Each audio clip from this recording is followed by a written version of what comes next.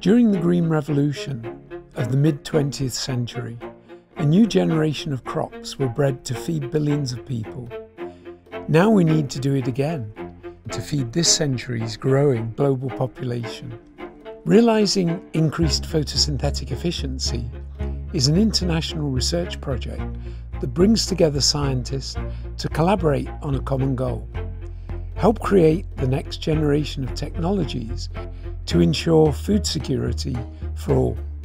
By re engineering photosynthesis, the natural process that plants use to convert sunlight into energy, the RIPE project helps crops grow more efficiently with fewer resources to help future proof our food supply.